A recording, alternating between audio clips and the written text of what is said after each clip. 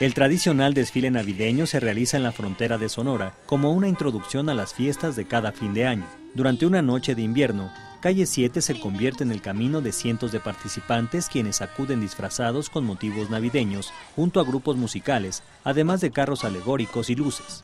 El evento es organizado por directivos de diferentes escuelas en coordinación con las autoridades de San Luis Río Colorado. Estudiantes de todos los niveles educativos de la región tienen la oportunidad de desarrollar su creatividad con la elaboración de los atuendos y el adorno de los vehículos. La comunidad en general es testigo del alegre evento que se hace con la finalidad de motivar el corazón de los sanluisinos en esta época del año. Con información e imágenes de Juan José Romero, corresponsal en Sonora, Notimex.